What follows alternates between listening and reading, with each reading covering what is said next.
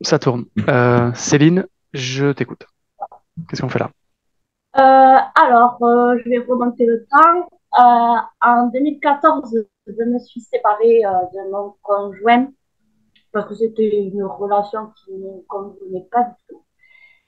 Et euh, ça m'a permis de revenir à la fille que je suis à la base, c'est-à-dire que depuis petite, je fais beaucoup en fonction de mon intuition, de ma petite voix intérieure et tout ça, que j'avais coupé pendant 8 ans quand j'étais avec cet homme. Et donc en 2014, j'ai recommencé un petit peu à me retourner vers euh, la fille que je suis réellement.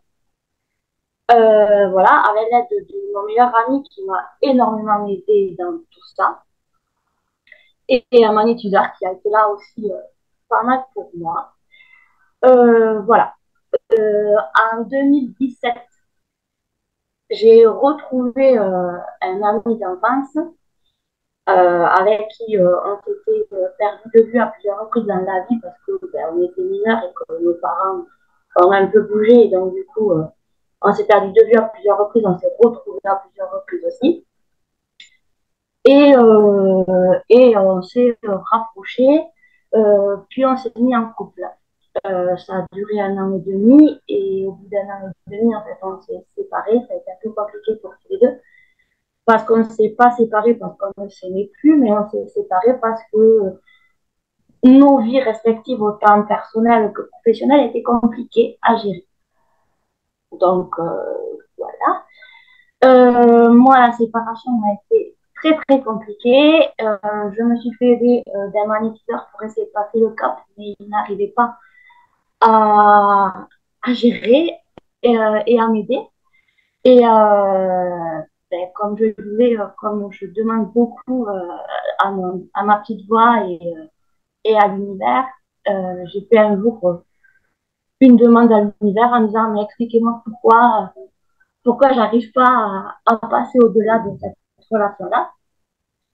Euh, j'ai pris mon téléphone, euh, comme je fais d'habitude, et souvent, en fait, quand je pose une question, j'ai ma réponse soit euh, parce que je fais du pendule et des cartes, soit parce que j'ai une page d'un livre qui va me donner la réponse, ou une chanson qui va passer à la radio et j'ai la réponse. Et donc là, je prends mon téléphone, et donc c'était en 2018, et euh, j'ai pas compris, j'avais euh, l'application YouTube qui s'était ouverte alors que je l'avais pas demandé, avec une vidéo sur les flammes jumelles. Voilà. Euh, bon, en 2018, les flammes jumelles, on n'en pas autant parlé que maintenant, parce que là, euh, j'ai l'impression que ça devient un peu un effet de mode, bref. Euh, passons. Euh, voilà. Euh, j'ai petit à petit, avec ce magnétiseur, j'ai compris qu'il y avait quand même des choses que je devais travailler sur moi euh, pour euh, vraiment écouter et être à l'écoute de mon moi profond. Euh, donc, on a travaillé pas mal de choses, euh, autant euh, par magnétisme que sous hypnose. Je suis allée voir euh, des vies antérieures. J'ai, je suis allée aussi un peu travailler sur le schéma familial avec de l'autosabotage, des âmes qui n'étaient pas montées, que j'ai aidé à monter, enfin, ce genre de choses-là. Et, euh, et ça allait beaucoup mieux euh, jusqu'à euh, la fin de l'année dernière où j'ai eu de très gros problèmes de dos et cervical.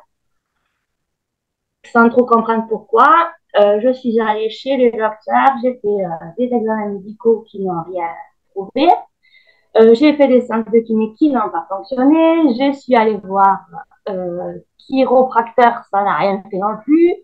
Euh, je suis allée voir un ostéopathe qui n'a pu rien faire non plus et qui m'a envoyé vers une kinésio qui, elle, a fait quand même quelque chose, puisqu'en fait, elle m'a fait travailler sur les énergies et sur le fait que euh, j'avais un gros problème sur tout ce qui est euh, légitimité, c'est-à-dire que je me sentais jamais assez capable pour ou assez bien pour, etc., etc. Donc j'ai travaillé sur tout ça. Ça m'a fait énormément de bien parce que je n'ai plus mal au dos à part de temps en temps une petite pointe qui me vient.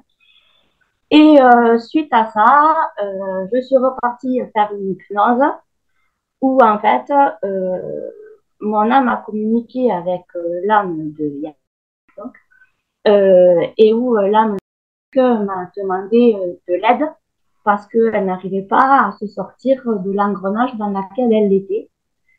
Je ne savais pas comment l'aider et quand je suis sortie de l'hypnose, j'ai refait une demande à l'univers et je suis retombée sur une ben, sur YouTube avec une vidéo de toi.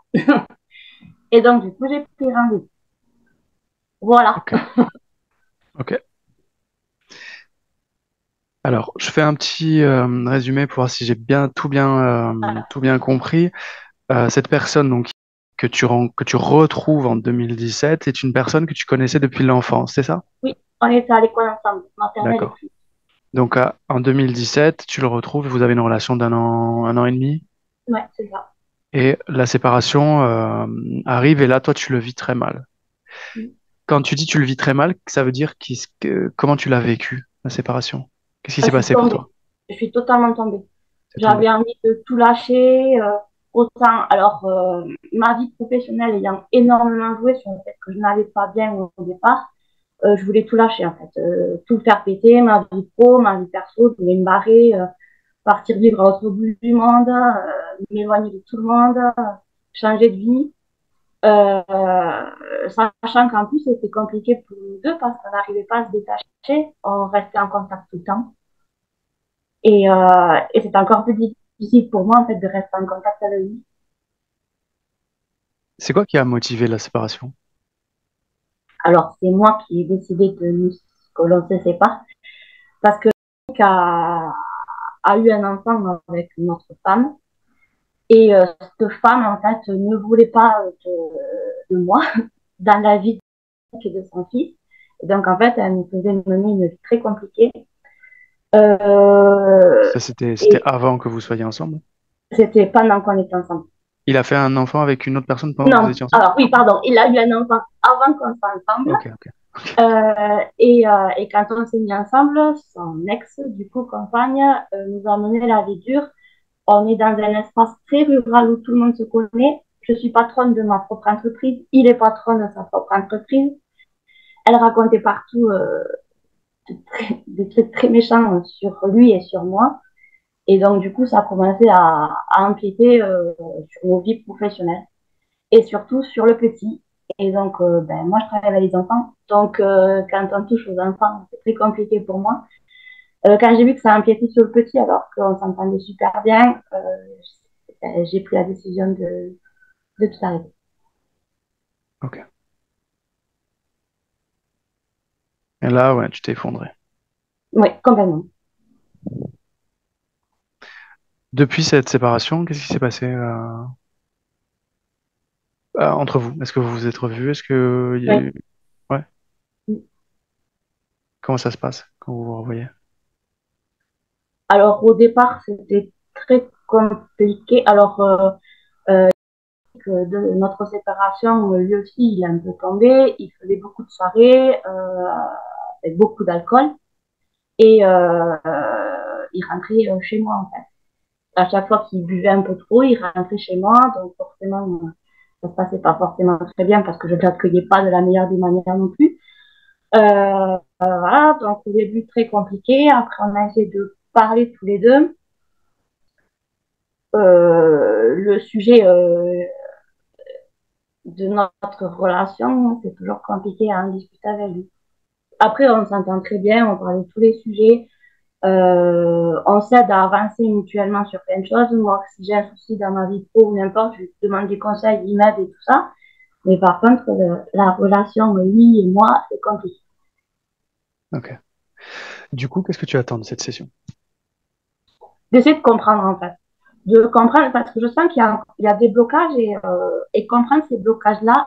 Euh, pourquoi, en fait, euh, son âme est venue nous voir. Euh, pourquoi, euh, voilà, le magnétiseur a essayé de couper le lien, il n'a pas réussi. Voilà. et, et pourquoi j'ai encore cette pointe dans le dos que la kinésio n'a- n'arrive pas à m'enlever alors que pour le reste, tout a réussi. Tu peux répéter, c'est quoi qu'elle arrive pas à l'enlever? J'ai une pointe, en fait, j'avais super mal au dos, donc tout ça, ça s'est réglé, sauf une pointe que j'ai de temps en temps dans Elle est, mon dos, elle est à quel endroit du dos? en plein milieu. Ok. Au niveau de la, la colonne? Ouais, au milieu de la. Ok.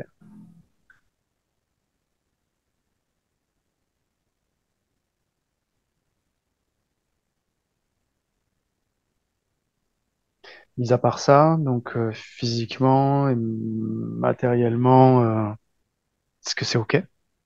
Euh, matériellement, euh, à chaque fois que je lance des projets où l'aspect financier rentre en jeu, je me retrouve toujours à avoir des dépenses imprévues qui vont impacter mon épargne, etc. Je me retrouve toujours à, à me retrouver avec l'épargne à zéro et de pouvoir recommencer à, à retrouver un bon équilibre financier. Et dès qu'il y a un projet qui se, que je veux engager, c'est la même situation qui se passe. Autant dans ma vie perso que dans ma vie professionnelle. OK. Bien. Je, je te le dis, comme je dis à tout le monde, euh, est-ce que tu es OK euh, Oui, à l'idée, voilà, de réceptionner euh, toutes les infos qui vont sortir et qu'on fasse le travail en fonction de, des infos, de la nature du lien qu'on va trouver? oui, OK, très bien. je suis là. OK. Euh, alors, si c'est OK pour toi, si, euh, si tu m'as tout, tout donné, là, on peut y aller. Je pense qu'on a tout. Je pense aussi. C'est bon. OK. Alors, je te laisse de- couper le micro de ton côté et puis euh, je te récupère après.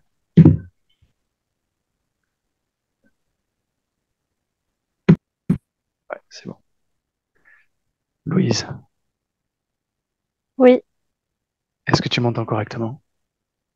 oui, Est-ce que tu as besoin d'une induction? non, Est-ce que tu es avec elle? oui. Comment elle est? Euh, comme bloquée, je la vois, euh, elle a, elle est comme attachée à, à sa cheville droite. Et je dirais pas qu'elle est mal en fait. Elle est ni mal mais ni bien. Elle est pas hyper rayonnante, mais elle est pas hyper euh, mal, tu vois. Elle Elle sait, est hum, elle sait ce qu'on fait là? comme dans un entre-deux. Oui, Demande-lui. Qu'est-ce qu'on fait là? elle dit que c'est pour l'aider à se dépolluer, comme euh, déparasiter. Elle n'est pas tout ça dans son espace, elle le sait. Demande-lui, c'est quoi ce, ce truc à la cheville droite? Son auto-sabotage, Pourquoi la cheville droite?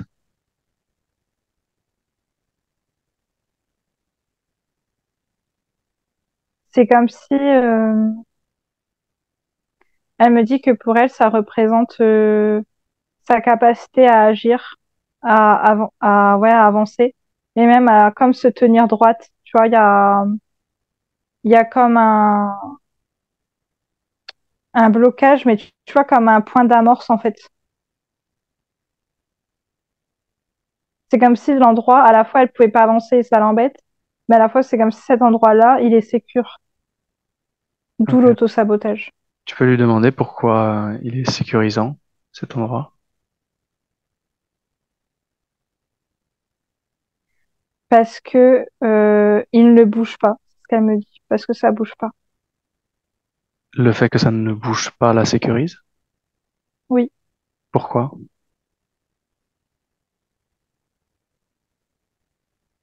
parce que l'inconnu lui fait peur. Pourquoi?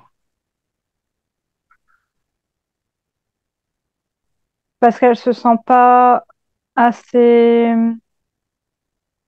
forte et je dirais comme équilibrée, tu vois, comme euh, tu vois, comme quand t'as tu bouges pas, tu vois, t'as t'as ton centre et tu bouges pas. Là, elle se sent pas comme ça, c'est comme si elle se sentait euh, trop fragile, je vais dire ça comme ça, pour avancer.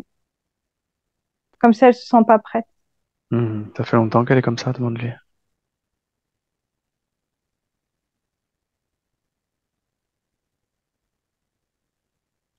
Ça fait euh, un an et demi. Avant, c'était pire, elle me dit. Pourquoi avant c'était pire? Euh, c'est c'est- avec la rupture, c'était pire. Et même encore avant, dans sa vie avant, c'était genre euh, pire, pire, tu vois. Et elle était pas tout ça dans son espace là non plus. Mais c'est comme si, euh, ouais, son état d'avant au niveau de son âme était pire, en fait. Bon, alors, euh, puisque tout de suite tu as vu qu'elle n'était pas toute seule dans son espace, tu vas lui dire euh, d'appeler, de dire à cette présence-là de se montrer clairement. C'est quoi, c'est qui? Ok, il y a une présence et c'est un reptile. Ok. Qu'est-ce qu'il fait là?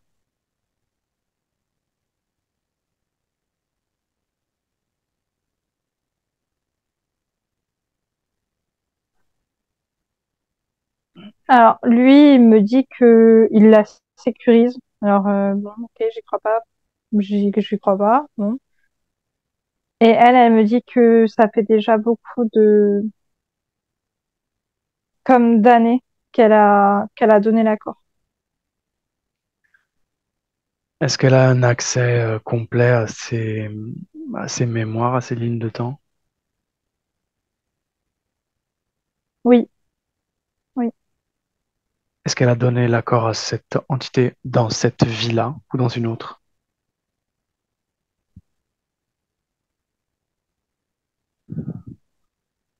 dans une autre. Depuis combien de vies il est présent avec elle? Trois. Est-ce qu'elle veut bien nous montrer la vie dans lequel, dans laquelle elle l'a, elle l'a laissé rentrer? Ok. Vas-y, montre-moi alors.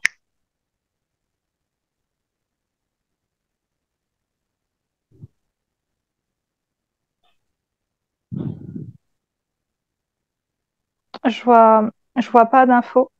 Par contre, je ressens une euh, douleur euh, au niveau de mes lombaires. Pourquoi tu ne vois Mais pas je, j'ai d'infos? pas d'image. Je sais pas. Demande-lui à elle. Pourquoi il y a, pourquoi on voit rien? Elle me dit que c'est comme s'il brouille. Le reptile brouille? Ouais, Ok. De- demande-lui pourquoi est-ce qu'elle le lui permet.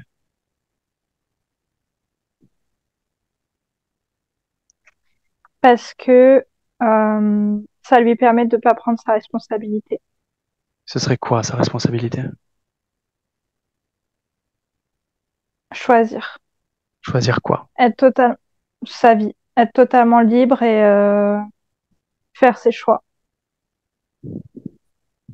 Pourquoi est-ce que ça lui fait peur de faire ses choix?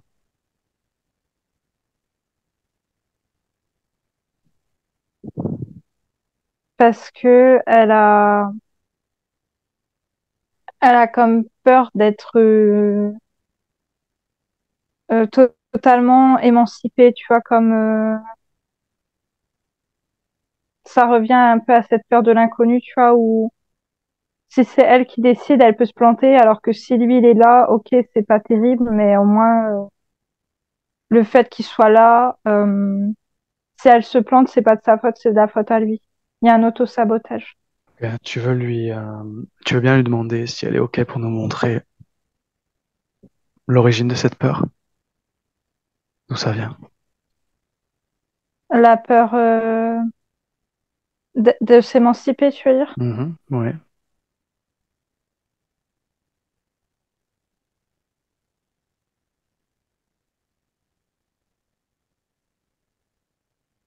Euh, non, c'est bizarre, elle me répond pas.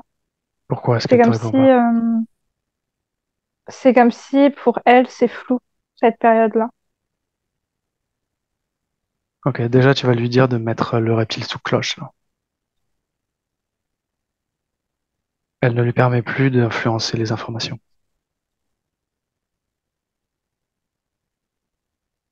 Si elle n'y arrive pas seule, dis-lui qu'on peut l'aider. Il suffit qu'elle nous le demande. Ok, elle demande qu'on l'aide du coup. Mets-le sous cloche. Ok, c'est bon. Plus rien ne passe. Dis-lui d'observer à l'intérieur d'elle-même cette peur et de nous montrer l'origine de cette peur.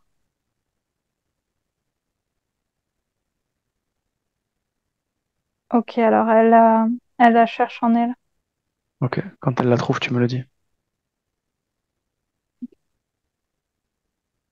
C'est, c'est étrange. C'est comme si en fait elle sait que c'est là, mais c'est comme si c'était pas assez condensé pour le trouver, tu vois. C'est un peu comme nébuleux. Ok, bah dis-lui de le densifier alors. Dis-lui que dans ses énergies, dans son espace, dans son, dans tout ce qui la compose, elle fait exactement ce qu'elle veut. Si elle a besoin de densifier cette émotion, elle la densifie. Ok, Euh, ça vient de là son problème de dos, sa douleur au dos. C'est dans son dos. C'est dans son dos. Ok. Dis-lui d'observer du coup cette zone, d'observer euh, cette émotion-là et de nous montrer le point d'origine de cette émotion-là. Qu'est-ce que c'est?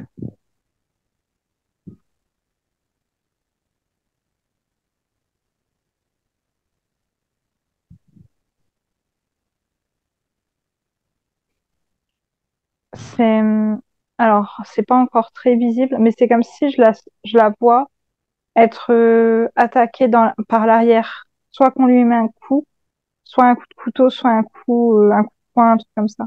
Demande-lui pourquoi c'est pas net, pourquoi c'est pas assez visible?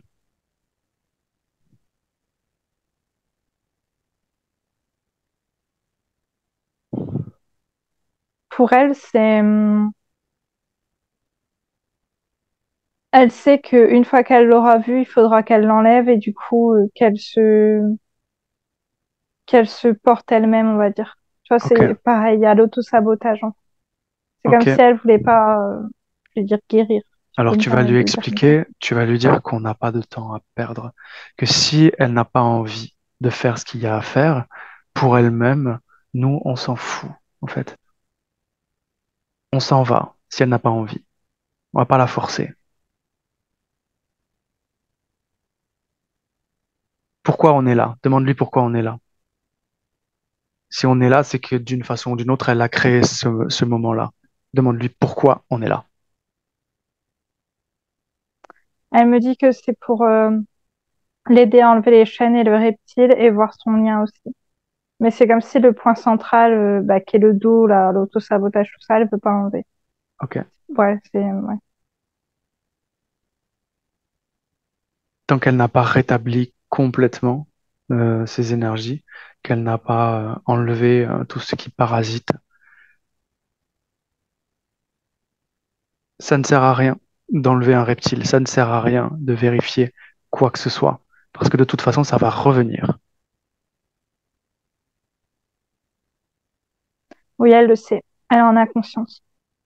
Elle sait qu'elle lui a donné l'accord parce qu'elle voulait, euh, comme s'auto-saboter. C'est une nuisance, en fait. Elle se nuit elle-même. Elle le sait. Depuis combien de temps elle se nuit comme ça? Combien de vies?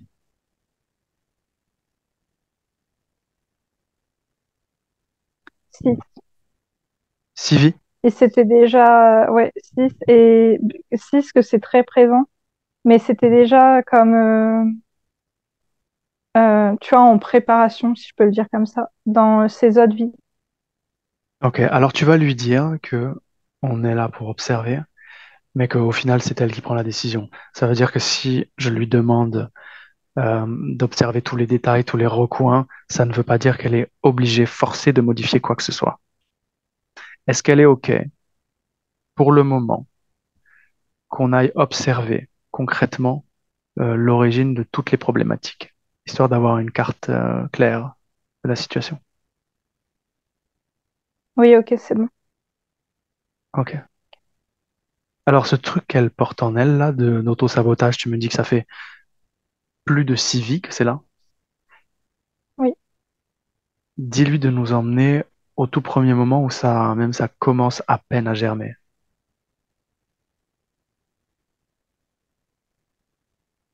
Ok, donc où ça commence à germer, c'est à peu près là 30 vies. Ok. Qu'est-ce qui fait germer ce truc-là?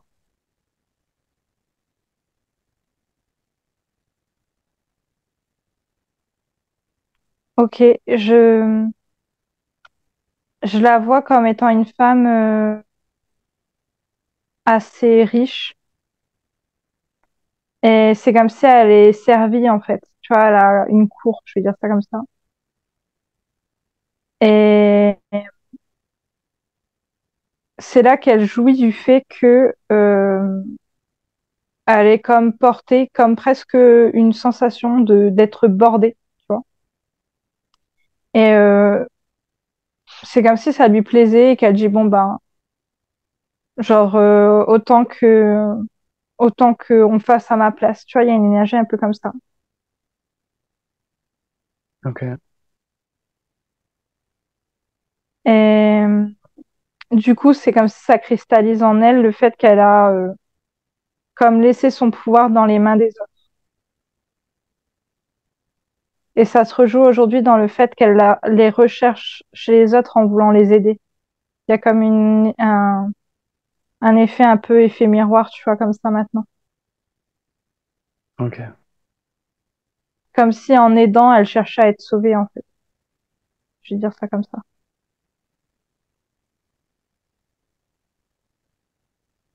Pourtant, à ce moment-là, euh, tu me dis que c'est une personne riche, donc euh, elle est dans le confort, euh, c'est-à-dire que ce pouvoir qu'elle donne aux autres, c'est pas vraiment un pouvoir parce que c'est elle qui le détient, le pouvoir par l'argent. Oui, Elle ne fait que oui, déléguer finalement. oui. Pour, pour quelle raison ça, ça fait germer cette notion-là?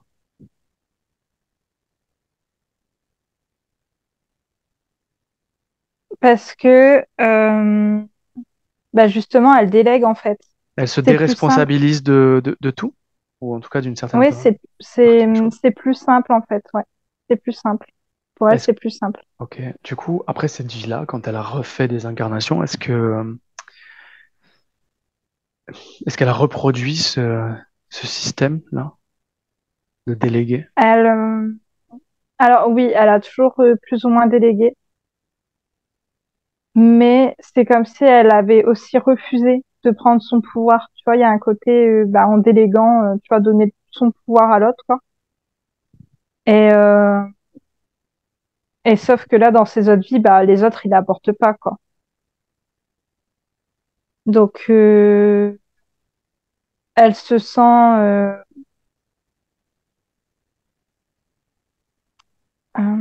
non soutenue, en fait. Non soutenue, un peu en trop. Euh, et elle a ce côté où, du coup, bah, elle fait plus euh, les vies qu'elle veut, tu vois. C'est comme si euh, elle, elle passe tout le temps à côté de ses vies, ce qui crée chez elle une sensation d'être toujours exclue, Hmm. hors d'eux. Un peu même sur la sellette, je pourrais dire. Comme si, tu vois, il y avait un, un siège éjectable ou, tu vois, une trappe où d'un coup, genre, elle peut tomber parce qu'elle décide pas vraiment. Ok, Ça euh, crée aussi un désancrage. À force, ça crée un désancrage de plus en plus présent. ok. À ce moment-là, là, dans cette vie où elle est riche, où elle délègue, elle est euh, libre dans son espace? Oui. À quel moment le, le reptile entre? Quand est-ce qu'elle le laisse entrer?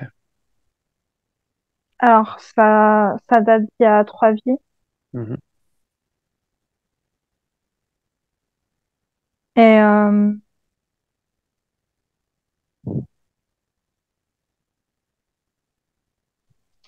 c'est c'est au moment où elle se fait attaquer dans le dos. Elle se fait attaquer par euh, par euh, la femme de de l'homme, tu vois, où elle expliquait qu'à la femme qui l'embête, machin, c'est cette femme-là qui l'attaque. L'ex-compagne? Oui, Ok. Quel type de vie elle, elle fait là, à ce moment-là? Elle est qui dans cette vie?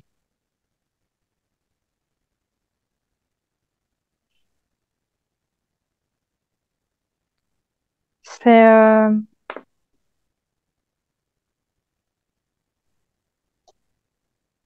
en fait elle est censée épouser euh,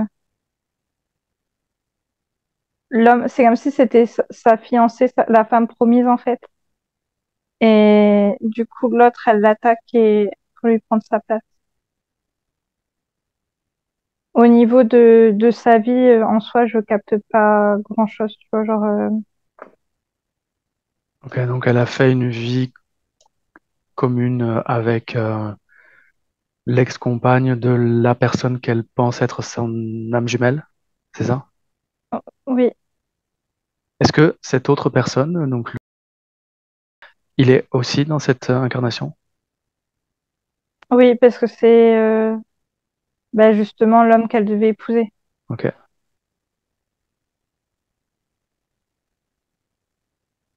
ok.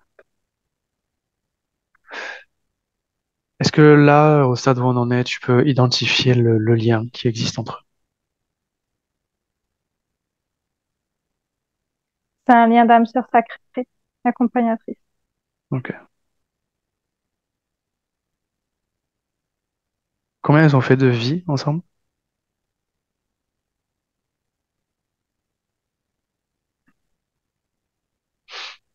196. Ok.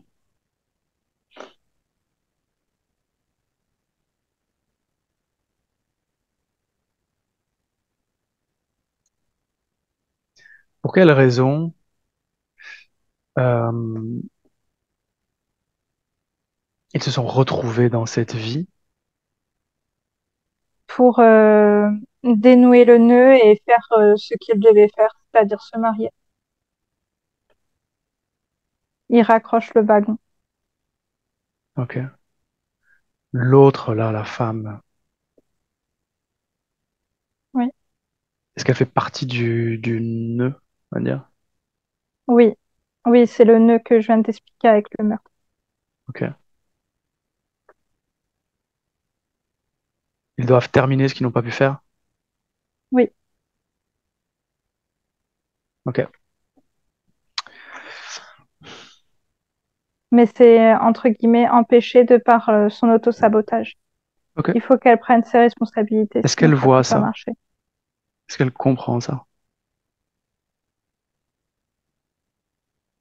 Oui et non. À la fois, elle le voit, mais c'est comme si c'était pas pleinement compris. Il y a quelque chose chez elle qui lui fait dire qu'elle pourrait essayer de faire autrement. Il y a Ce serait... toujours ce truc de je veux Ok. pas prendre ma responsabilité. Alors, alors demande-lui, ce serait quoi? Autrement. Que c'est lui qui vienne la sauver. Ah, ok. Alors tu vas lui, tu vas lui montrer, tu vas lui dire qu'à l'endroit où elle est, avec euh, la vibration qu'elle émet, donc la réalité qu'elle crée là, présentement, tu vas lui dire de faire une projection future avec ces conditions-là, sans les bouger. Une projection future sur euh, 50 ans. Qu'elle regarde. Est-ce qu'il vient la sauver? Il y a des allers-retours, mais rien de probant. Mais elle le sait, en fait. C'est ça qu'elle le sait, mais c'est comme si, euh, pas ça lui fait, ouais, si je peux dire, ça lui fait peur, en fait. Qu'est-ce qui pourrait se une peur de passer? l'inconnu. Demande-lui, qu'est-ce qui pourrait Que, arriver? qu'elle se foire de nouveau, mais que là, elle est la seule responsable. Et qu'est-ce que ça ferait si elle était responsable de, de s'être foirée? Qu'est-ce qui se passerait? Pour elle, ça serait échoué. Et alors, qu'est-ce qui se passerait?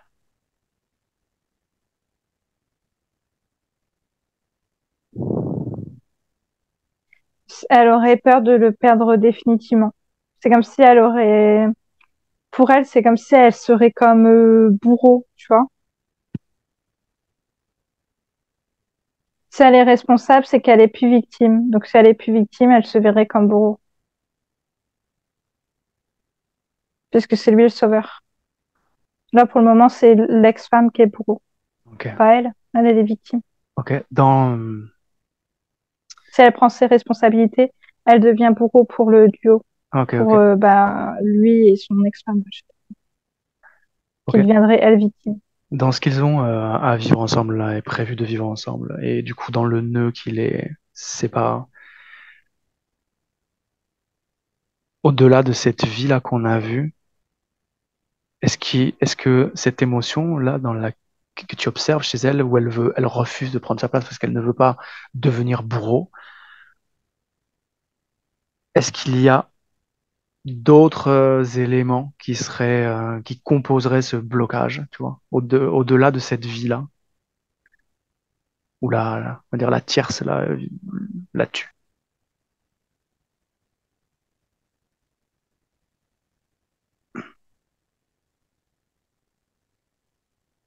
Hum, pour elle, elle me dit que non. Et pour toi, Pour moi, je dirais que oui. Je ressens qu'il y a un truc euh, qui veut pas être vu. demande-lui pourquoi elle, elle cache comme ça. Répète-lui, on peut tout aller voir et ne rien toucher. C'est pas parce qu'on va voir qu'on va tout changer. Elle pourra rester victime si ça lui chante. Mais au moins on aura vu. Voilà, on pourra évaluer c'est quoi le mieux? C'est quoi le mieux pour elle, c'est quoi le mieux pour tout le monde? Et là, c'est pas. Alors, elle me dit, c'est pas le fait là de de pas toucher. C'est le fait que elle a elle a fait du mal pour elle. Elle paye un karma aujourd'hui parce qu'elle a été bourreau dans l'autre vie. Elle Dans une nous, autre vie où ils étaient à trois en fait. Ils Elle veut nous. Elle montrer était bourreau. qu'est-ce qu'elle a fait? Hum, Non, elle veut pas vraiment montrer. Pourquoi? Mais genre, elle n'en est pas hyper fière, tu vois. Parce qu'elle a honte. Elle a honte.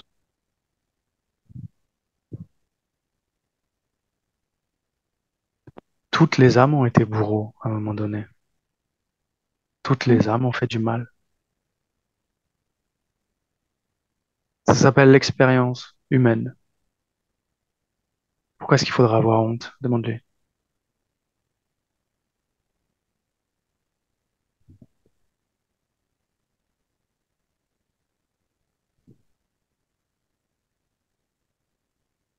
Parce que c'est hum, le fait qu'elle a voulu déléguer et qu'elle a pas voulu euh, prendre sa responsabilité qui fait qu'elle a été bourreau. Et pour elle, c'est une grande honte, c'est un grand échec. Et du coup, c'est comme si elle continue de de pas vouloir porter en fait, parce que euh, si elle porte et qu'en plus elle est bourreau, ça serait genre euh, deux fois pire, tu vois. Ok. C'est comme si elle était très consciente, mais à la fois, Et si elle... elle porte sans être bourreau?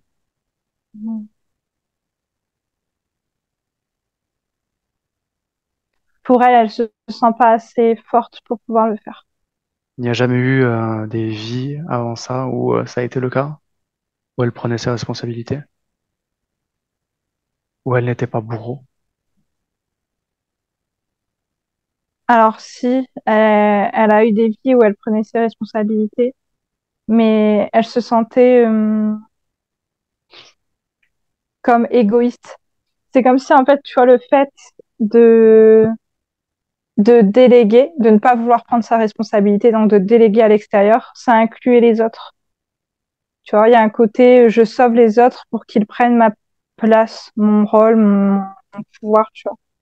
Et du coup, ça inclut les autres, alors que quand elle a sa responsabilité, qu'elle a sa pleine responsabilité comme son entièreté, il y a un côté chez elle qui lui fait croire ou dire, tu vois, qu'elle est comme égoïste, comme si elle se priorise, il y a un truc, euh, tu vois, de devoir euh, faire des choix, de devoir dire non, de donc elle se Mhm. sent comme étant punie, tu vois, comme si elle punissait en disant non, tu vois, ben, voilà. Ok. Dis-lui de faire une projection future. Et que dans cette projection future, elle se visualise, elle, avec les conditions euh, fréquentielles, euh, les programmations, comme elle a pu vivre en ayant sa pleine responsabilité. Mais à cet euh, ensemble-là, elle va rajouter euh, les autres, une générosité par rapport aux autres, tout en étant, en ayant sa place à elle. Elle peut faire ça, Juste pour voir. Ok, mais euh, c'est comme si elle n'arrivait pas à, visualiser. C'est comme si là, tu venais de lui donner euh, pour elle comme une injonction contraire. C'est comme si elle me dit, je ne peux pas être à la fois euh, à ma place et donc prendre mon pouvoir et à la fois pouvoir être généreux et donner et ne pas être égoïste. Je ne lui demande pas, je ne lui demande pas de penser, je lui demande de prendre les conditions fréquentielles et dans cet ensemble de fréquences, de rajouter une fréquence à l'ensemble. Juste, elle le dépose à l'intérieur. Et elle ouvre comme une fenêtre ou un écran, ce qu'elle veut, et elle projette une potentialité de création avec cet ensemble fréquentiel. Ça, elle peut le faire, elle n'a pas besoin de quoi que ce soit. Est-ce qu'elle est OK juste pour faire ça et observer à quoi ça ressemble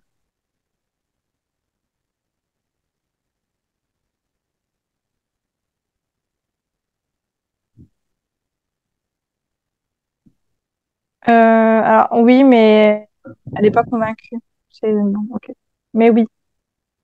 Ok. Juste, elle, elle le fait, elle regarde, et puis après, on en discute.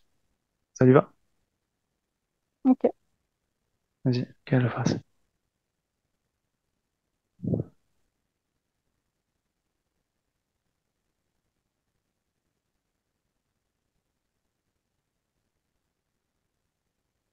Ok. Qu'est-ce qu'elle en dit? Déjà, elle est avec euh, euh, l'homme et elle voit les gens euh, comme heureux, comme s'il y a une forme de tout le monde a une place, tu vois. Mais il y a un truc en elle qui fait qu'elle est pas comme à l'aise. Ok. Tu peux lui dire d'identifier le... cette chose qui est mal à l'aise en elle? c'est l'illégitimité. Alors, Pourquoi toujours, elle, elle, aurait le droit d'avoir et pas les autres? ok. comme ça. Eh bien, toujours dans cette même projection, tu vas lui dire de retirer cette vibration d'illégitimité. Et pareil, elle observe à quoi ça ressemble.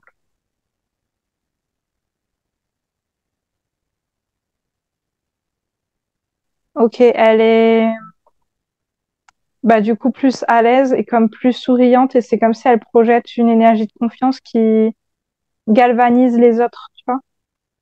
Ok. Est-ce que c'est une vision qui lui plaît, qui lui semble agréable, souhaitable même?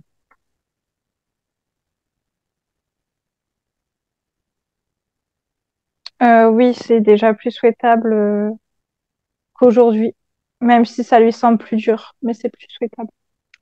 Plus dur, ça veut dire quoi? Plus qu'elle est, elle doit être plus courageuse pour faire une vie comme ça qu'aujourd'hui. Alors, Comme plus forte. si ça lui semble préférable d'échanger cette, euh, cette vie qui a l'air quand même un peu plus sympa que, que, que maintenant, là, elle peut, juste par la volonté, tout modifier dans son espace présent, puisqu'elle a tout identifié, l'origine de tout, qu'elle le savait déjà même avant qu'on arrive.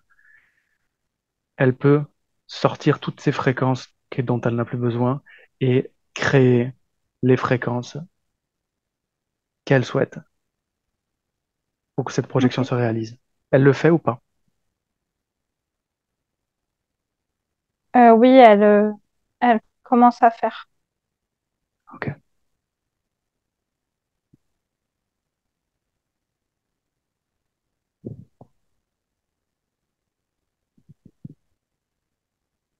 Elle est en train euh, d'enlever ce qui lui sert plus là, tu vois. Quand elle aura fini, tu me le dis?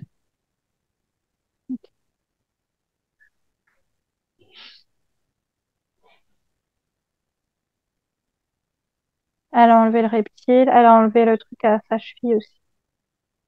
Ok. Là, elle est en train comme d'enlever euh, les émotions, les croyances basses, tu vois.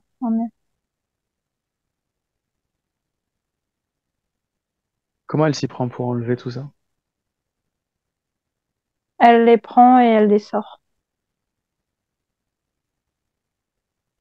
Mais c'est, c'est comme si elle avait comme une sensation de perdre un morceau d'elle, tu vois.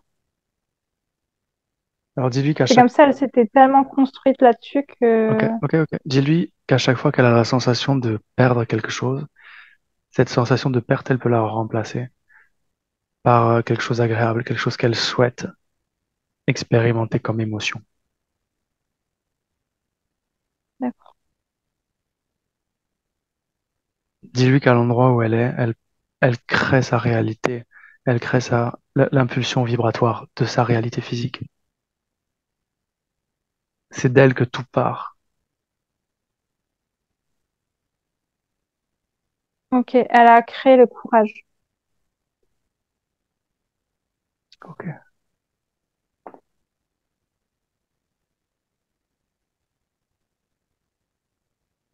Quand elle a fini, tu me le dis?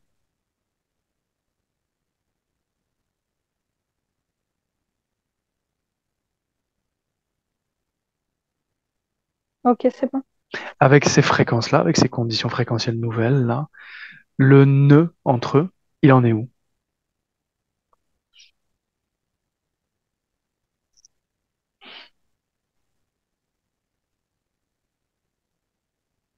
Euh, alors, elle, elle est toujours là, mais c'est comme si elle était plus. Alors, eux, en fait, eux, de leur côté, c'est comme si ça n'avait rien changé. Je vais dire ça comme ça. Mais Céline, c'est comme si elle est plus forte et ferme sur ses intentions. Ok, alors tu vas lui dire à Céline de ramasser tout, euh, tout ce qu'on a fait aujourd'hui, là, toutes ses connaissances à elle, euh, par rapport à la résolution de, de ce qui les concerne, en termes de problèmes, en termes de blocage, et de transmettre toutes ces informations à l'autre, à Yannick. Comme ça, lui de son côté, il pourra faire ce qu'il a à faire. Ok, c'est bon. C'est bon? Il l'a réceptionné? Est-ce Oui. que ça modifie quelque chose de son côté?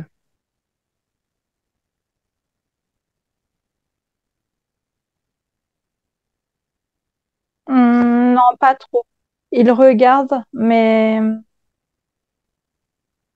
ça crée pas un changement. C'est comme s'il fallait. euh, je ressens ça comme ça. hein. C'est comme s'il fallait un changement physique, un acte de sa part à elle, pour que ça puisse créer comme une résonance chez lui.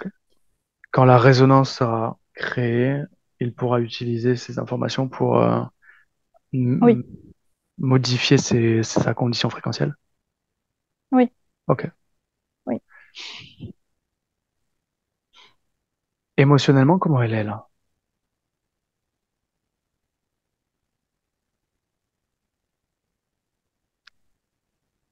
Euh, alors, elle se sent plus libre, Mhm. plus forte aussi, mais c'est comme si euh, euh, elle, elle est pas dans le corps en fait. Il y a un truc qui fait qu'elle est pas dans le corps et ça la Qu'est-ce qui, dérange. qu'est-ce qui fait qu'elle est pas dans le corps?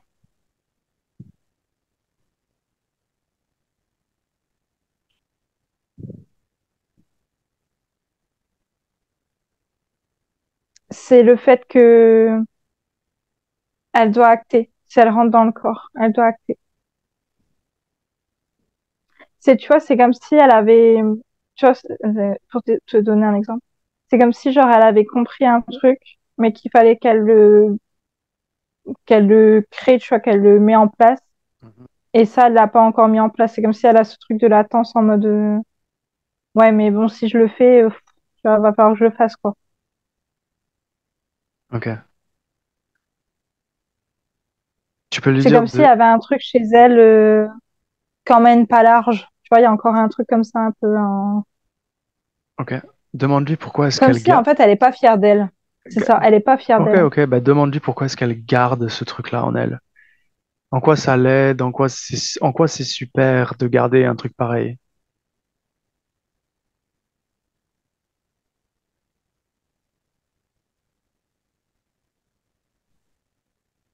C'est alors c'est pas super, c'est pas bien, on va dire ça comme ça, mais c'est pareil, c'est son auto-sabotage. C'est une énergie d'auto-sabotage. Ok. Alors, tu vas lui demander de, d'utiliser euh, ce truc-là et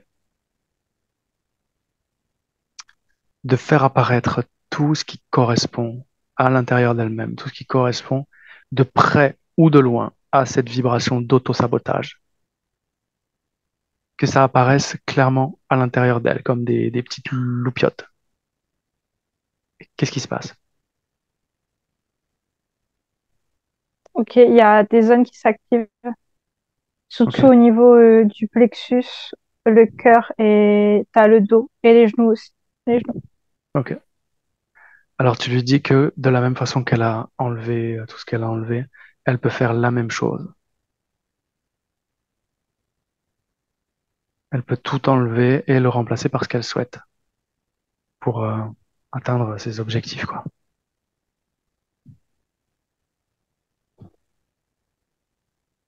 Elle le fait? Oui, c'est bon. Ok. Elle a Comment elle est? remplacé par de la fierté. Bon, bien. Euh, bah ça va du coup, elle se sent plus comme illégitime, elle se sent plus faible aussi. Donc ça va. Elle peut incarner le corps. Qu'elle le fasse alors. Bon, C'est fait? oui. Est-ce qu'il y a quelque chose qui la dérange sur le, le plan physique, euh, dans les vibrations du corps physique?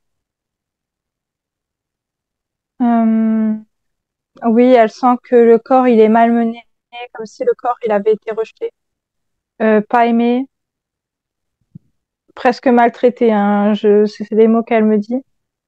Mhm. Et du coup, elle est en train de, de comme créer des fréquences euh, pour euh, changer le corps, je vais dire ça comme ça, comme pour donner de l'énergie au corps, parce que pour elle, c'est pas agréable.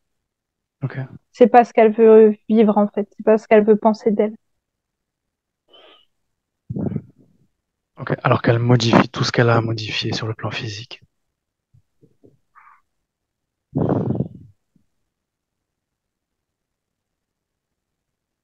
Ok, elle dit aussi que ses problèmes d'argent, ça venait de l'auto-sabotage, que ça va disparaître. Ok. Scanne son espace, son corps. Est-ce que tout est ok? Oui, c'est bon. Est-ce qu'elle aurait un message à adresser à sa partie physique?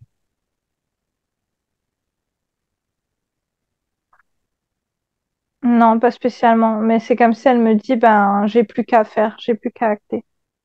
Mais elle se le dit à elle-même, pas spécialement à son corps, tu vois. Ok. On peut la laisser? Oui, c'est bon. Alors tu souhaites une bonne continuation et puis tu te déconnectes. Et on rentre.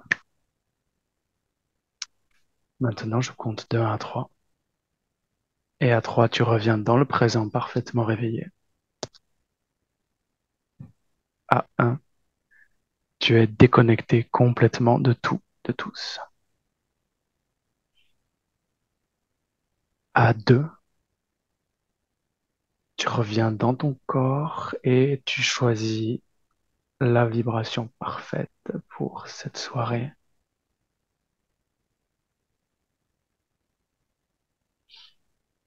Tu la fais grandir et circuler dans tout ton corps et s'expanser à chaque respiration.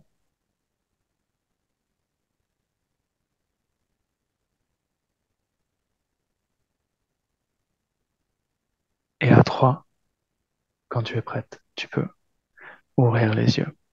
3.